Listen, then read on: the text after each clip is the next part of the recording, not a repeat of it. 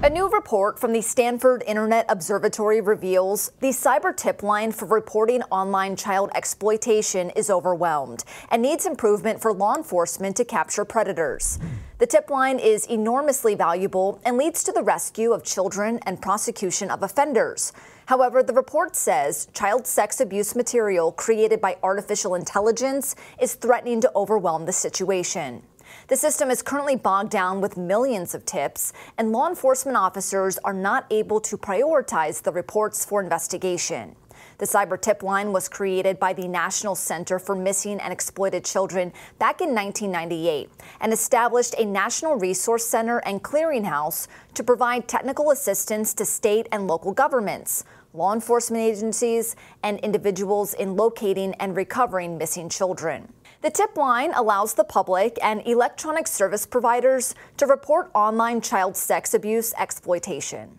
Staffers working the tip line review the reports, identify the location of the victim or predator, and send the information to the appropriate local law enforcement agency.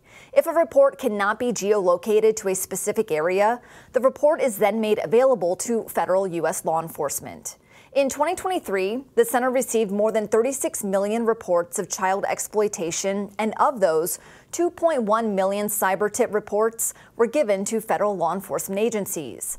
Almost certainly in the years to come, the cyber tip line will just be flooded with highly realistic looking AI content, which is going to make it even harder for law enforcement to identify real children who need to be rescued, researcher Shelby Grossman said.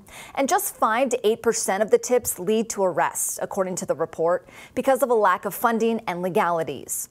Plus, in 2023, about 92% of the tips received involved countries outside of the U.S a stark difference from 2008 when majority of the tips concerned American victims and offenders. The Stanford report outlines a few recommendations, such as having Congress increase funding to the National Center for Missing and Exploited Children, providing clear information to social media platforms on how to file a detailed report to the cyber tip line, and providing resources to law enforcement so they have the time to investigate child sex abuse crimes.